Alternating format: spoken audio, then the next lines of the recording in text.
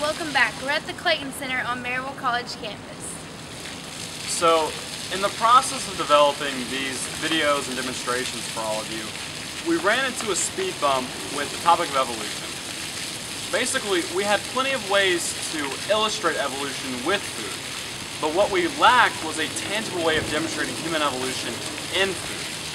And it stayed this way until we managed to stumble upon, by blind luck, the topic of lactose intolerance. Now, lactose is a disaccharide sugar that's composed of glucose and galactose. It is the carbohydrate found in milk. In fact, about 5% of milk is lactose, and it is the primary source of nutrition for the young of mammals.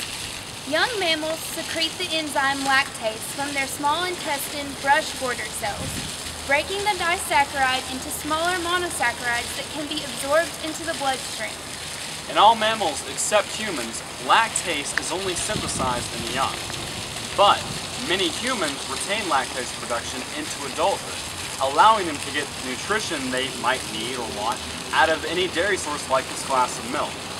Some people, however, can't produce this lactase in adulthood, leading to nausea, abdominal bloating, cramping, and sometimes diarrhea if they have too much of a dairy product like milk.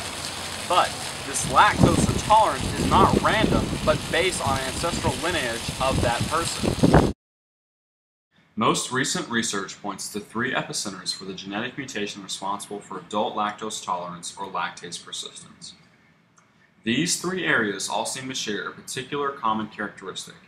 Human groups there domesticated and relied heavily on large milk-producing mammals such as camels, goats, and cattle. In these areas, milk could provide critical nourishment to those that could digest it. In northern Central Europe, cow's milk could be a valuable food source, thereby increasing an individual's chance of survival when other food items became scarce. A similar effect has been hypothesized for populations in East Africa, modern-day Uganda and Rwanda, and in populations on the Arabian Peninsula and into Sudan.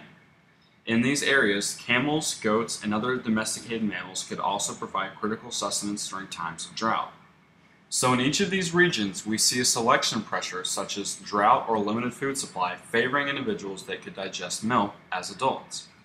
Individuals who had a mutation extending lactase expression had more energy and therefore survived and reproduced, passing on the mutation. As individuals migrated to other geographic locations, the mutation became common to populations in those areas.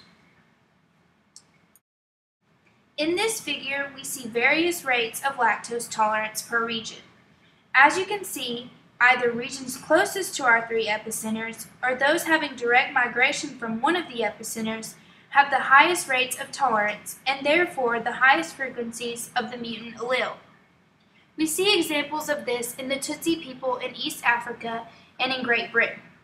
Both regions were in close proximity to the hypothesized epicenters and likely experienced the population interactions necessary to spread the mutation. Another great example of this migration can be found by comparing tolerance rates of Australians of European descent against Aboriginal Australians. In the next figure, we see rates of tolerance again, but this time for ethnic groups in the United States. Once again, we see a clear pattern where ethnicities originating in regions near epicenters have higher rates of tolerance in adults. So in conclusion, we now realize that lactose tolerance is in fact a mutation on the ancestral condition of adult lactose intolerance. So the reason I can enjoy this glass of milk is because my Northern European ancestors were mutants. So concludes another episode in the Science of Food.